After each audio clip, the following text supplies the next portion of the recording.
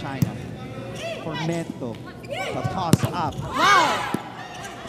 It's still good! Wow! Actually, nagsiselebrate na kasi Manlapas nun eh. Nakabalik sa depensa ang EAC. Good save. Formento. Balik ulit sa gitna. Gregorio Medyo mabilis Alacanis. yun. Free ball. Formento. Ayan na. Trisha Reyes. Fresh legs. Grabe. Lang talaga yung kailangan nilang iwasan, magbigay talaga ng free ball, no? Dahil itong EAC, eh, alam mong pag nag-free ball, aatake talaga ng malakas. Yeah.